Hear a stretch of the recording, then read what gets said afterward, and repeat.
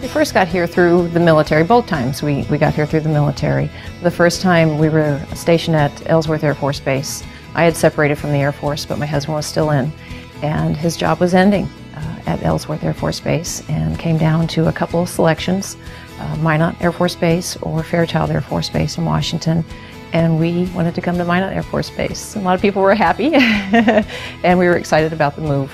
Um, we were here for five years, and we were uh, reassigned in 1999 uh, to Virginia. Uh, we're there for about three and a half years, and we had the opportunity to come back to North Dakota, and we jumped at it.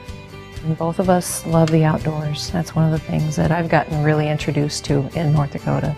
Um, my husband always enjoyed the outdoors, and uh, he slowly started getting me into hunting and things like that. So we enjoy the, the times in the fall when we get to go out and deer hunt, pheasant hunt. Um, this summer we're looking forward to some great camping trips.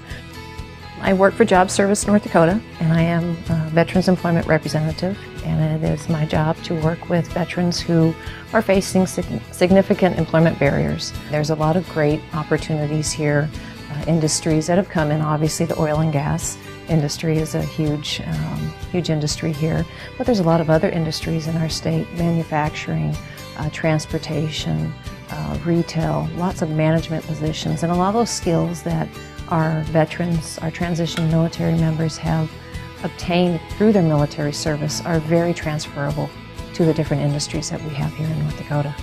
We just want to help them get connected with our great employers that are here in the state.